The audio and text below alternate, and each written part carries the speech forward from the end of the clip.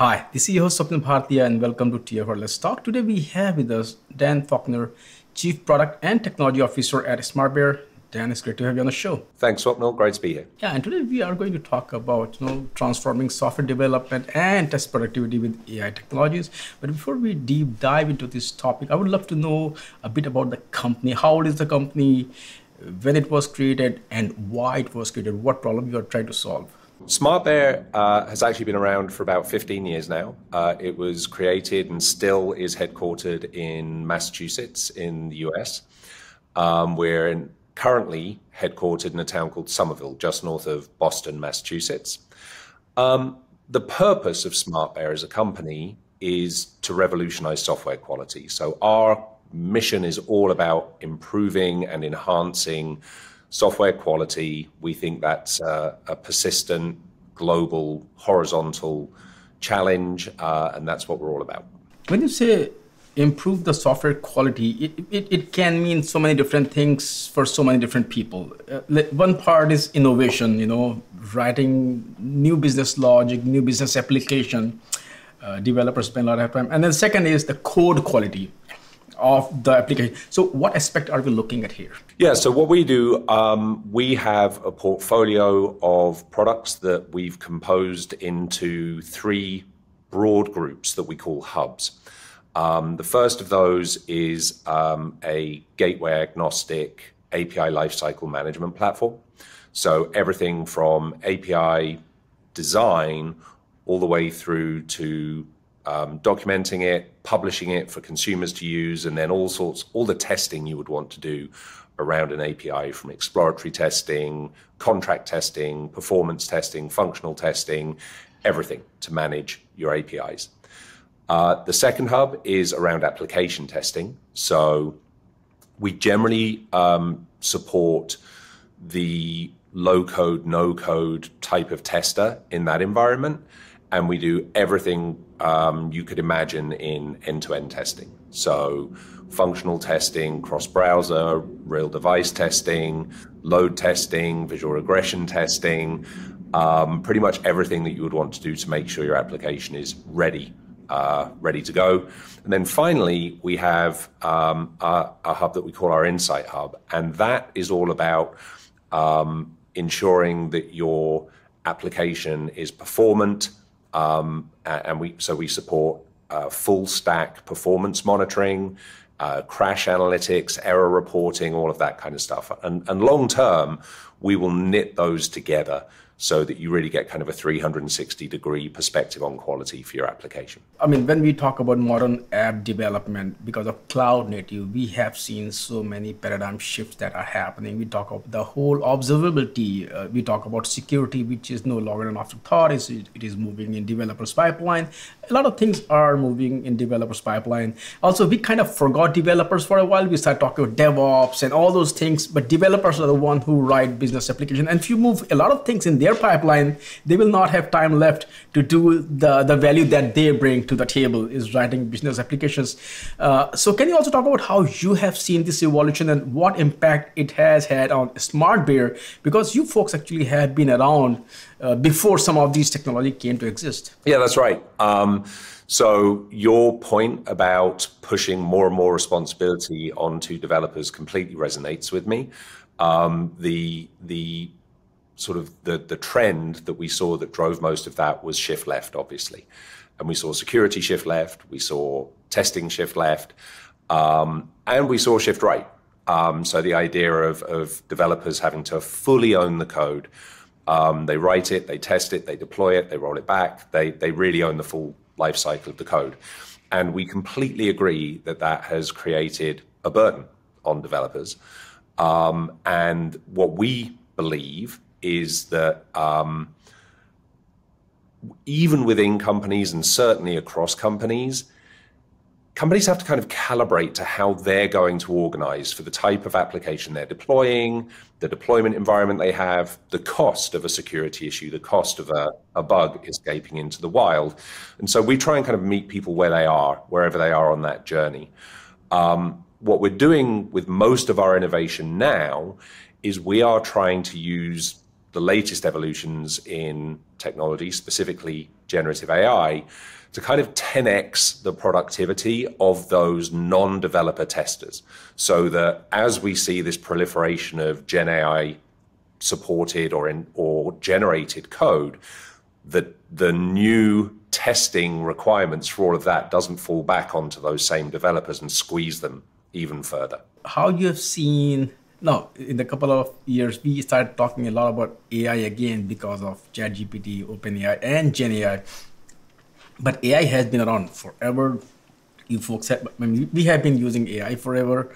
Uh, can you talk about how you've seen the role of AI evolved uh, in in the process of software development? In terms of um, coding itself, software development itself, I think the step change has been the evolution of these Gen AI supported coding assistants. Um, and our perspective on that is that honestly, we think the jury is still out about the aggregate impact of that.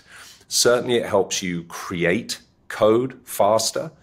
Um, however, it also helps you create bugs faster and it helps you create tech debt faster. And there are some very inter- interesting interactions that we're seeing where developers are maybe not paying as much attention to AI generated code as they do to the code they generate themselves. So the literature seems to be pointing to maybe a degradation in code quality and a proliferation in code volume. So on the testing side of things, that's actually one of the reasons that, that we've doubled down on this concept of revolutionizing software quality because we think we're going to need a new approach that doesn't burden the developers. And we actually think AI and Gen AI is much better suited to the testing task right now because tests tend to be pass or fail.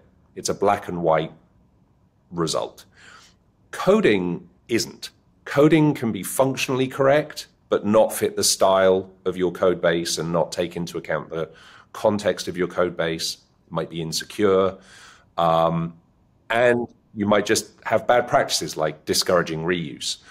Um, whereas we, we're finding Gen AI is very tractable. We've used ML based models, for example, in our visual regression testing product, but we think there's a whole new realm of productivity that, that Gen AI opens up in the testing realm. What initiative you folks have taken to include AI within your you know, catalog? So as I mentioned, we, we've had these machine learning based models for a while. Um, we use them in our application functional testing products. And what they're able to do is um, reduce the need for a person to kind of look at an application and understand um, what's going on. So that might be in comparing regression testing by visually observing two different versions of an application, because there are often visual changes that, that don't show up in other types of testing. We're able to automate that using machine learning models. Um, what we've done with generative AI is introduced um, uh, an approach to using AI in our products that we've called Halo AI. That builds on top of the foundational models, and then we have an, um, kind of a philosophy about how we'll deploy AI in our testing products um, so be happy to give you some examples of that if that would be useful. Yeah, I would love to have those examples. Before we go there, can you also just give more details about Halo AI? Halo AI is um, uh, our approach to introducing generative AI into our full suite of products. Um, it's built upon some kind of core principles.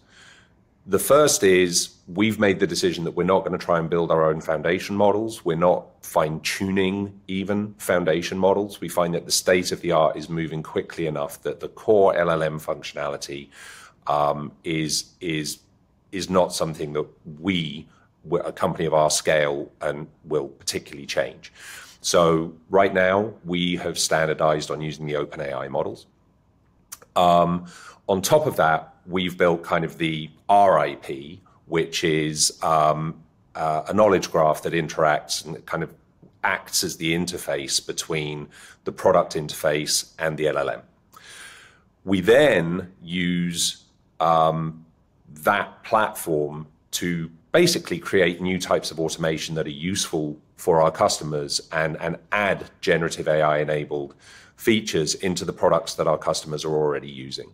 So we're not building standalone generative AI products. We are enabling our existing products with generative AI.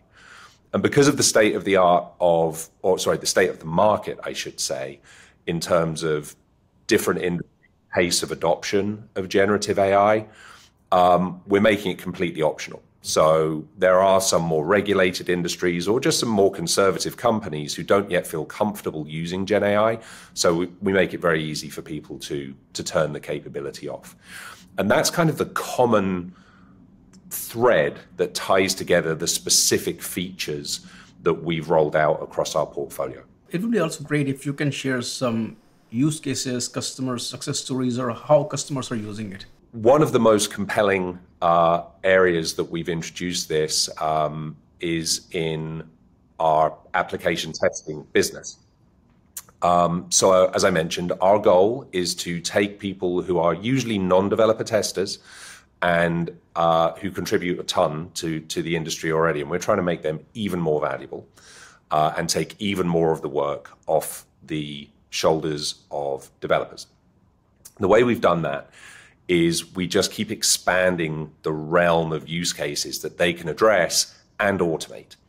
Um, so one type of automation that we've introduced is the ability to specify tests in natural language. Um, so one barrier to a tester today who may be less technical, if they want to write test automation scripts, is they may not know, they may not feel comfortable using Playwright, Selenium, Cypress, things like that. Um, what if they could just write down in English what they want the test to be and um, then have the product understand that English and be able to reliably turn that into an automated test?